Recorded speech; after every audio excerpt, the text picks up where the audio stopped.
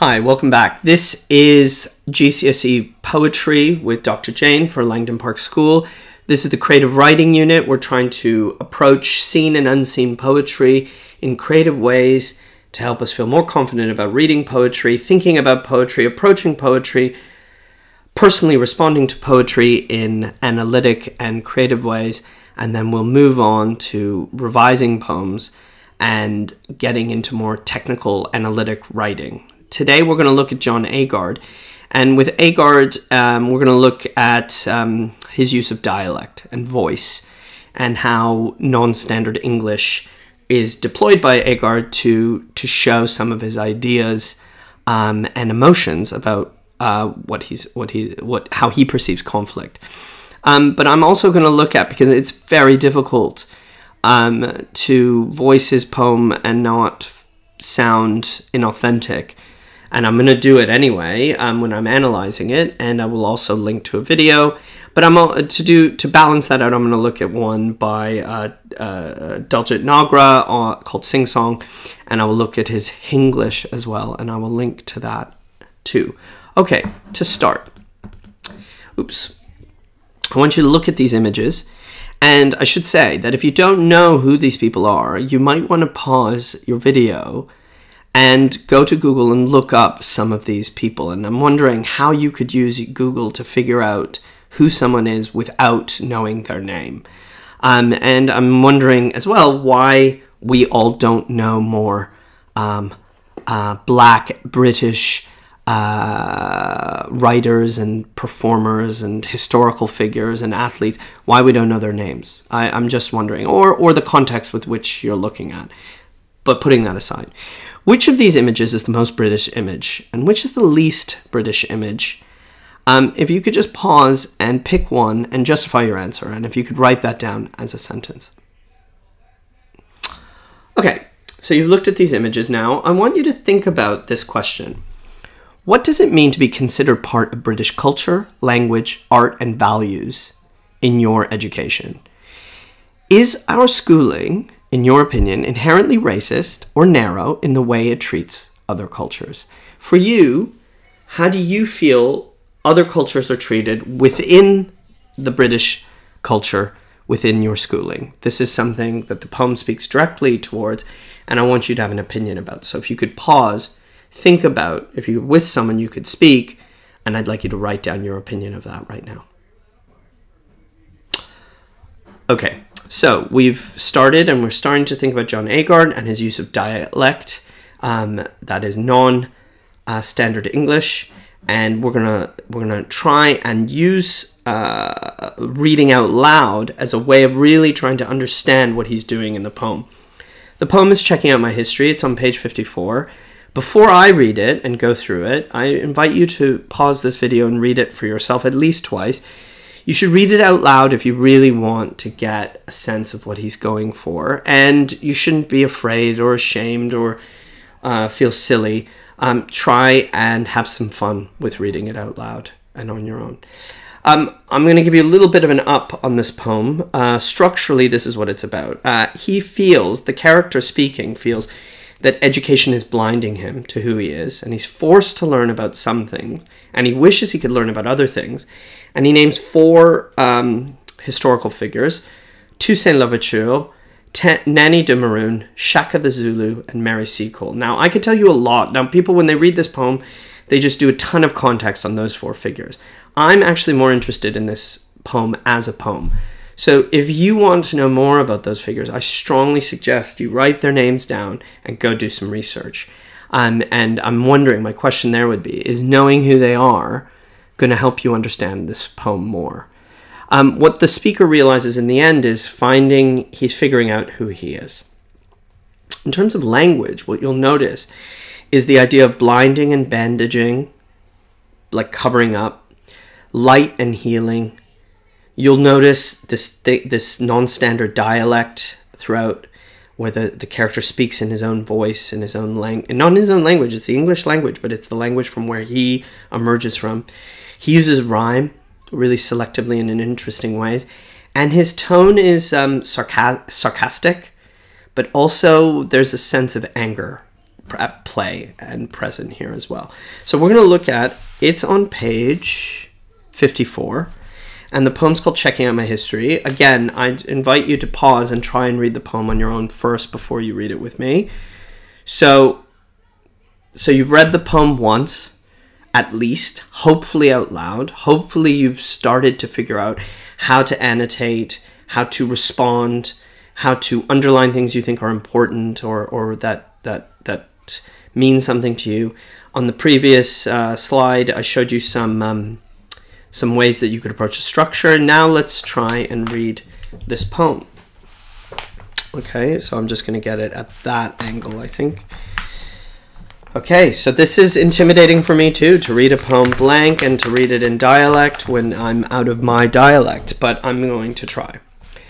Dem tell me, dem tell me, dem tell me what, dem tell, what, dem tell me, dem tell me, what dem want to tell me. Bandage up me eye with me own history. Blind me to me own identity. So, bandage and blind. Bandages are usually for healing. And here he's saying education. But actually, what it's doing is so he can't see.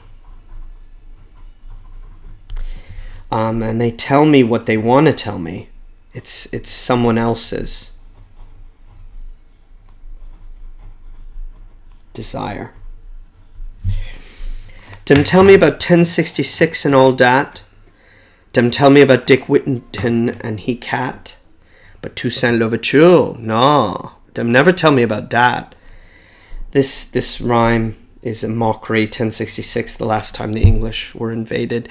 Dick Whittington, um, a panto figure. But who's this character? This heroic black general. Who is he? Um, he gets honor of place indented in italics, and we are told his story. Toussaint, a slave with vision. He was a slave. He could see. Lick back Napoleon battalion and first Black Republic born Toussaint, de torn in the French Toussaint, the beacon of the Haitian Revolution.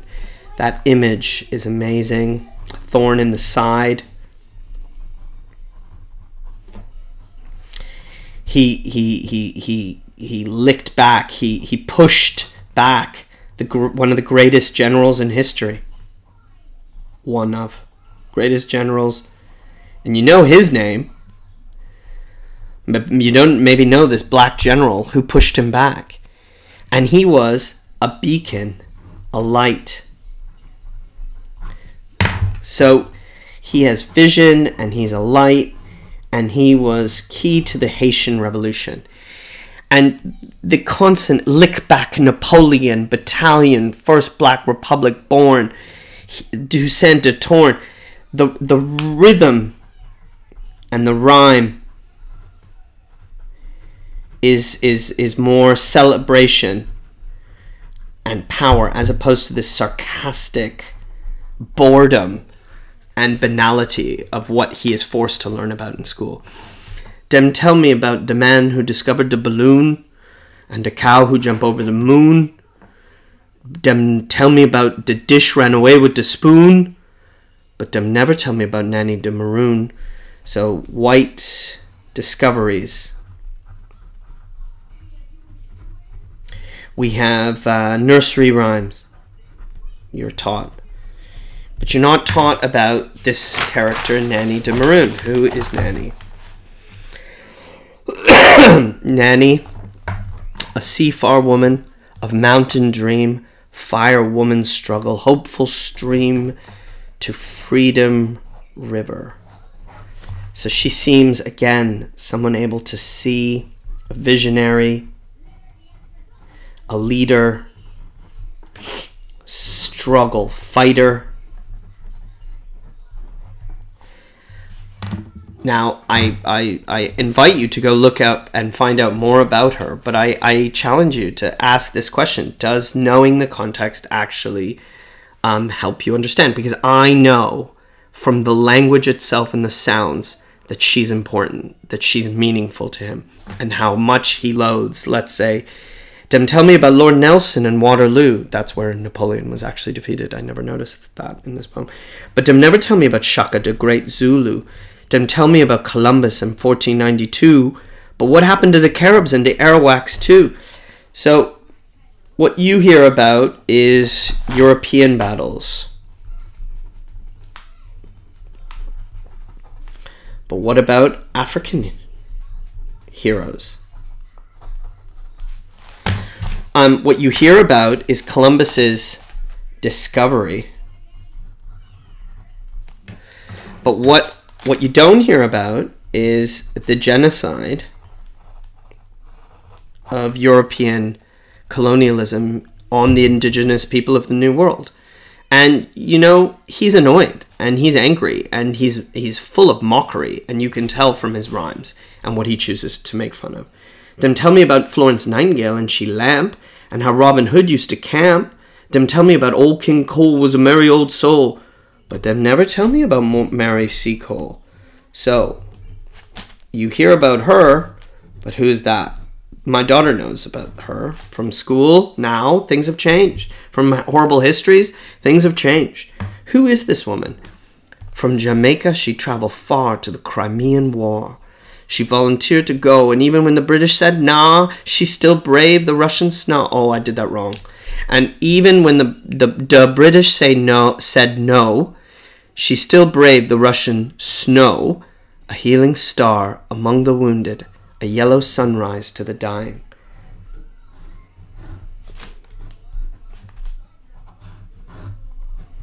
Light, health. She's a nurse the Crimean War, Battle of the Light Brigade, if you want to think about that. Um, uh, from Jamaica, so uh, a black nurse who came to the Crimean War to volunteer, even though she was told no. Um, and she was a healing star among the wounded, a yellow sunrise.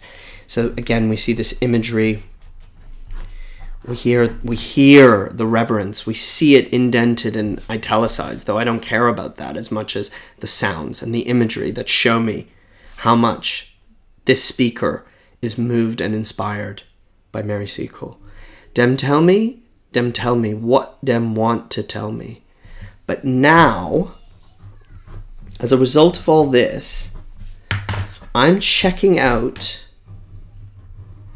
I'm doing it. I'm I'm doing it. I'm not passive. I'm the actor.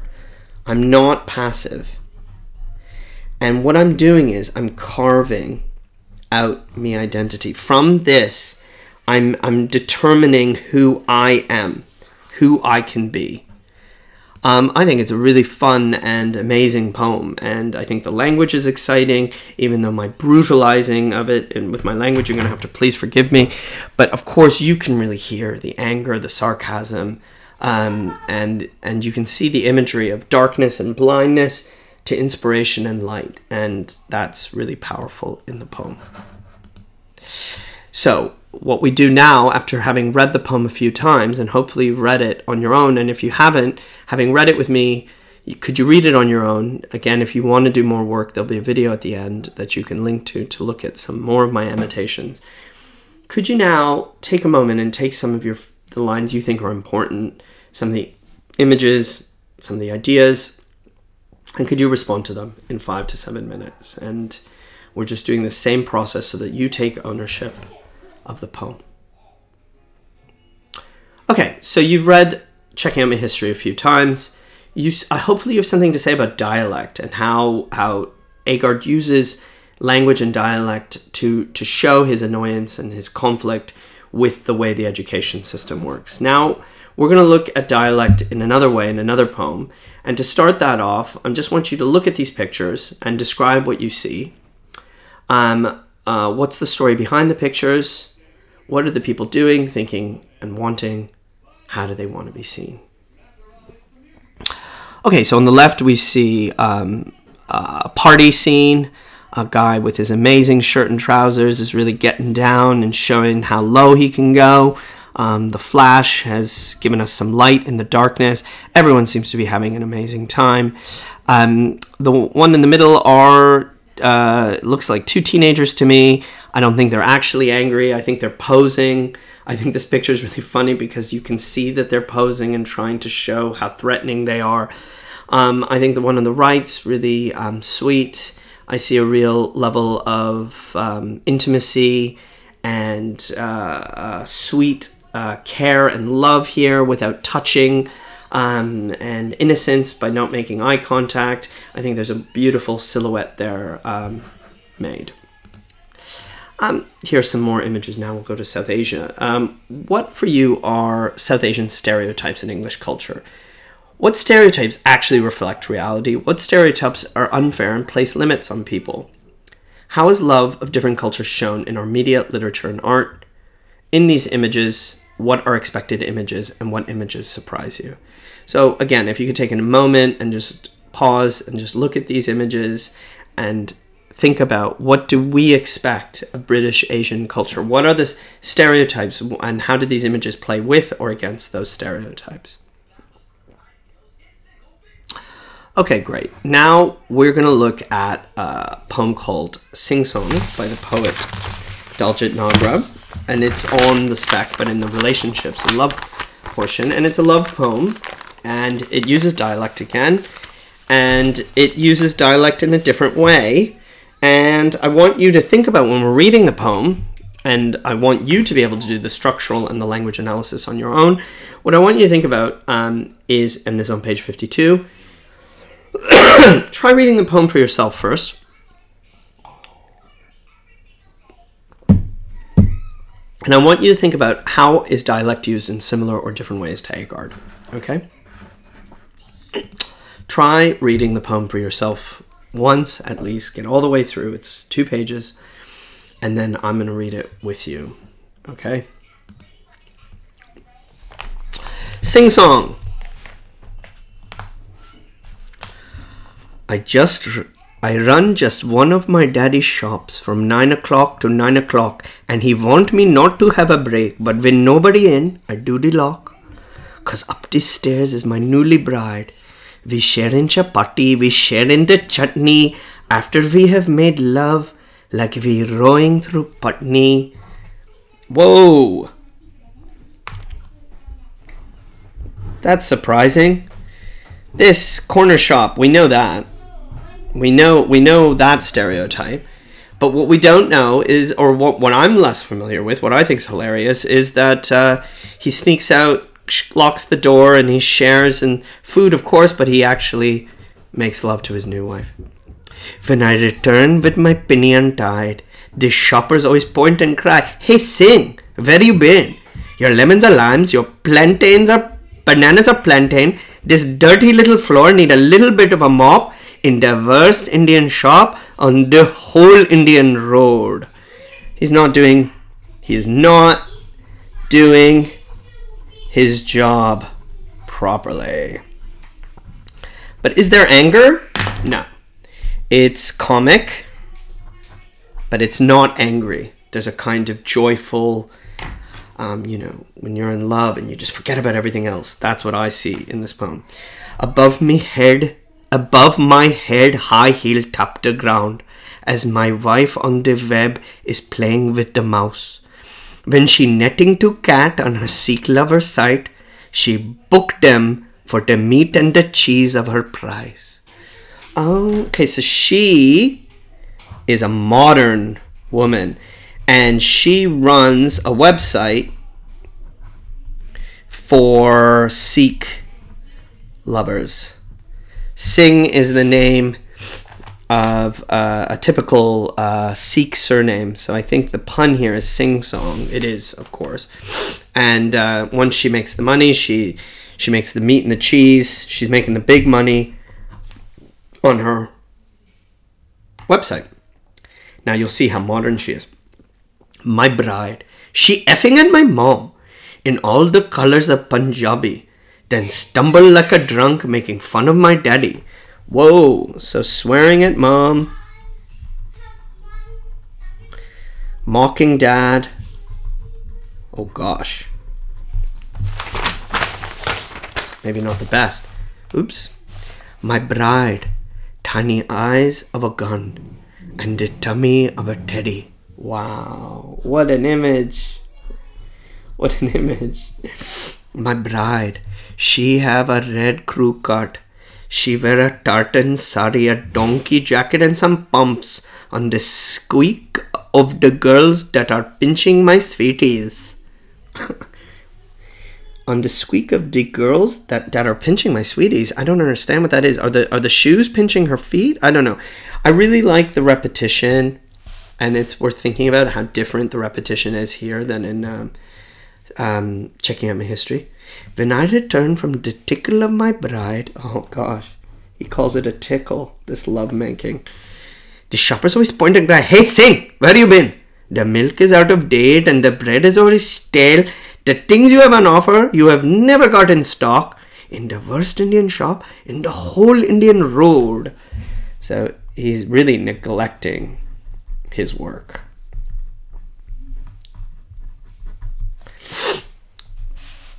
But look, he's in love, guys. Look, late in the midnight hour, when you shoppers are wrapped up quiet, when the precinct is concrete cool, we come down whispering stairs, sit on my silver stool. From behind the chocolate bars, we stare past the half price window signs and the beaches of the UK in the bloody moon. So here, I think they're trying to get some privacy. Um, blighty, I think, is what the pun. The mistakes are really funny. Um, th- this romantic moment, this romantic scene from the stool each night. She say, "How much do you charge for that moon, baby?" From the stool each night, I say, "Is half the cost of you, baby." From the stool each night, she say, "How much does that come to, baby?" From the stool each night, I say, "Is priceless, baby." This is a romantic poem that plays against stereotypes, plays against and with stereotypes. And it's silly and it's fun, and Daljit Nagra has a lot of play with the dialect, and in for very different reasons than um, uh, uh, Agard does and I'd like you to to access that and play with that and just look at the poem and see what you can do with it. Oops. so, what we've been doing today. Now, if we were in lesson, what I'd be inviting you to do is uh, translate one of these poems into your own dialect, uh, kind of response. Um, uh, but but since we're at home, what I'm wanting you to do is to just discover that dialect is another way of conveying meaning. And it's not only anger and mockery, as we see, it can be romance and fun and comedy as well. Um, we've, we've thought about um, how to approach a poem, um, we've thought about dialect, we've, we've read two poems in dialect. And now, what I want you to think about is um, go back to this idea of Agard's response. How does Agard use dialect to present his ideas about British education? I invite you to read more of his poetry and to think, see how he uses dialect in, the, in those other poems, and Daljit Nagra's poetry for that matter. Um, how does learning about different voices and perspectives make you think about your identity in different ways? I think about, I feel close to this Hinglish um, based on my cultural background, but for you, how how can a poet, a modern poet, use dialect to convey different or similar um, meaning just through the language. Um, and, and what else can you, what other emotions do you think you can get away with? Um, at the end of this video, I'm going to link you to both a longer annotation of Singh Song and checking out my history, which I've done a long time ago. I hope that you've been able to respond to both poems in a personal way and have something to say and have annotated those poems. I hope that you can start to think about your own creative responses to them and I hope that you're getting on with this unit and realizing that you're reading quite a lot of poetry. And your poetry skill and your understanding and your repertoire of approaches to a poem are growing with every lesson. Okay, I look forward to uh, seeing you all very soon. Thanks.